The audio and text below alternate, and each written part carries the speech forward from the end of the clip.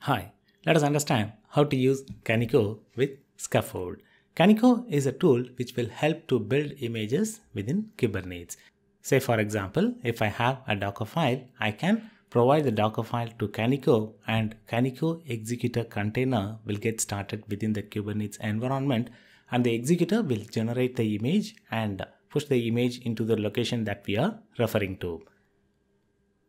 And we can use Minikube as the cluster or we can use a cloud build as the build environment for Kaniko. Within cloud build, the Kaniko container would get created and uh, that's going to do the build using Kaniko. Let's see both examples. First, we are going to discuss with using the Kaniko as a part of Minikube. As a part of the Kaniko samples, I do have a file called skaffold.yaml file. Within Skaffold, I have mentioned the build to be used using Kaniko. and I need to mention the secret file for Kaniko to log into the repository where it needs to push the image. For that, we are going to use the secret that we downloaded as a part of Google Cloud Platform for the earlier project. I have copied this particular file gcp.json which we used as a part of the Google application credentials and created a file with the name kaniko-secret and kaniko-secret.json.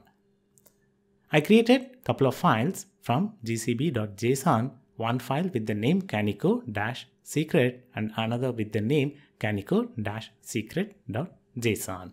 Both the files are exact copy of gcp.json and using this specific file I will be creating Kubernetes secret with the command kubectl create secret using this specific file kaniko-secret and the name of the secret is kaniko-secret. Already we created so it's giving the message the secret is already existing. And since I will be requesting the Kaniko to push the image into the Google artifact repository, I'm going to provide the credentials, Google application credential as this particular JSON file. How to download? We demonstrated in the earlier demo. Please do refer to that. This is the artifact registry I will be using. Within it, I do have a repository called my-gcp-docker-repo. As a part of the Skaffold YAML file, since I have provided the Google credentials, Skaffold can add the images into that repository. So I will be providing the default repository as a part of Skaffold dev. In case if you wanted to provide a different repository, you can create the secret for that specific repository and push it into them.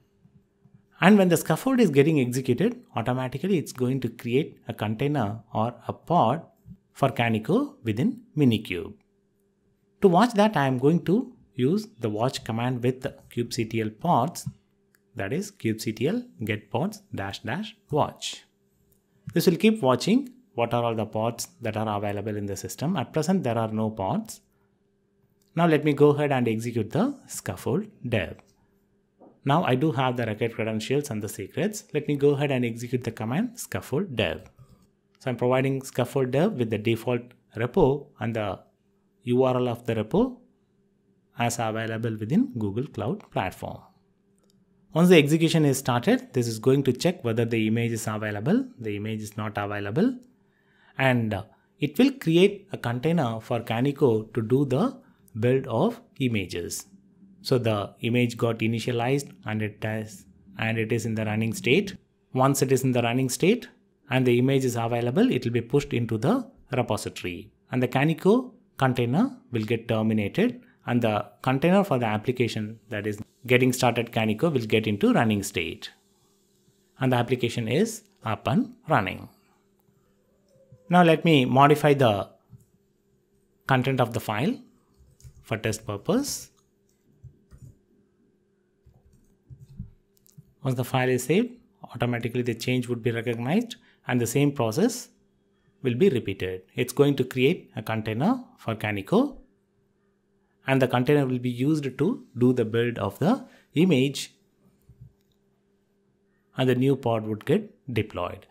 The biggest advantage with Kaniko is we are going to offload the entire workload of generating or building the image into the container running within Kubernetes. So the developer's machine will not get loaded while generating or building the images. This will be very helpful when we are doing the build or development of a huge project where the generation of the images it's going to take or consume huge amount of resources. So in a quick summary, we learned about what is Kaniko and how to leverage it along with the skaffold to offload the load into the Kaniko container running within Kubernetes. In this example, we use the Minikube that is running as a part of our system. We can make use of Google Cloud Build as well that we will be seeing it in the next lecture.